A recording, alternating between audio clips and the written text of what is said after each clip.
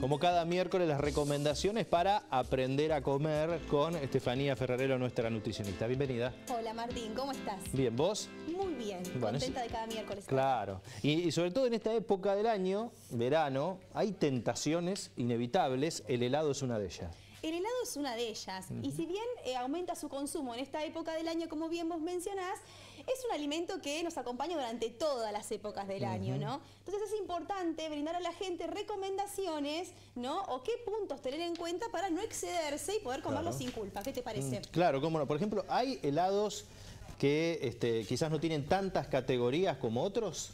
Así es, en realidad eh, hay diferentes tipos de helados. Siempre la famosa duda está entre helado de agua o helado de crema, ¿verdad? Bueno, eh, obviamente los helados de agua son los que menos calorías aportan. Podríamos decir que un heladito de agua comercial, los frutales, por ejemplo, eh, rondan alrededor de las 150 calorías aproximadamente, ¿no? Por supuesto que si lo hacemos casero en casa a partir de frutas frescas, por supuesto, naturales. acompañado de agua, ¿no? O de algún jugo natural, por supuesto que mucho mejor porque lo acompañamos de vitaminas y minerales. Pero en contraposición a los helados de crema, los helados de crema son los que más calorías aportan. Y los más ricos también. Y los más ricos también. ¿Pero por qué son tan ricos? Porque por supuesto tienen, además de azúcares, grasas, tienen cremas y por supuesto cuanto más complejo es, más calorías va a aportar.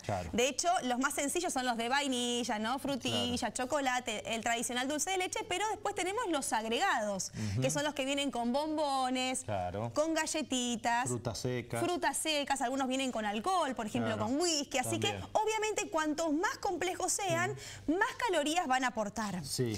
Si vamos a hacer una comparación de calorías para que tenga la gente una idea de cuántas calorías come, ¿no?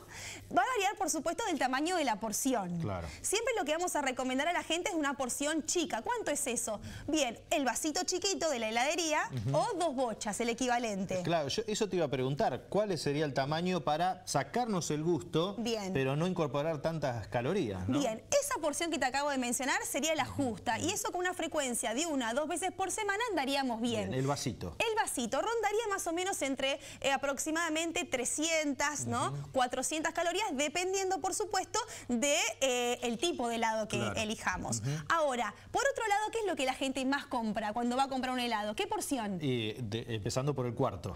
Muy bien. El personal es el cuarto. Es el cuarto. Para sentarse a ver tele, Por ahí recomendar a la gente que comparta el cuarto, que sería lo ideal, te miran como diciendo sacrilegio, ¿no? no se puede compartir un cuarto. Un cuarto para cada uno. Bueno, eso es un montón. ¿Sabes en cuántas calorías estamos hablando? ¿Cuántas?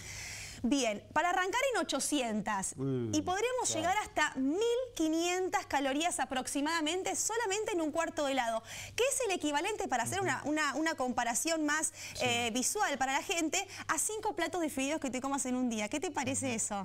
¿Cuánto? Cinco platos de fideos. Cinco platos de fideos. O 30 manzanas. Claro, hay que llevarlo a esa perspectiva para entender un poco. Para entender un poco. ¿Cuánto significa un cuarto? ¿Cuánto significa un cuarto? O podríamos decir que le adicionamos al mes un día más, porque un día más de ingesta aproximadamente promedio de una mujer es 1.500 calorías, en los hombres 2.000.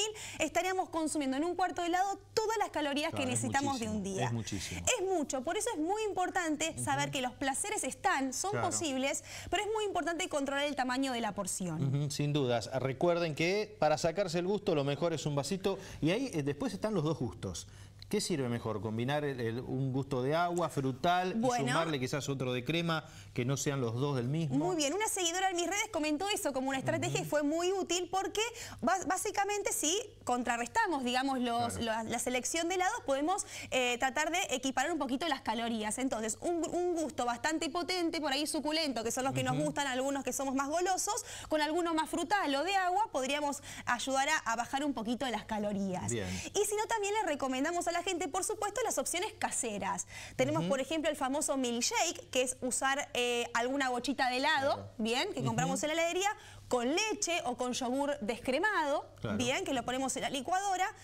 o también lo que podemos hacer es hacer los helados, como dijimos hoy, con fruta en el freezer. Los congelamos, los sacamos y agregamos cubitos de, en vez de hielo, podrían ser de yogur o de leche descremada.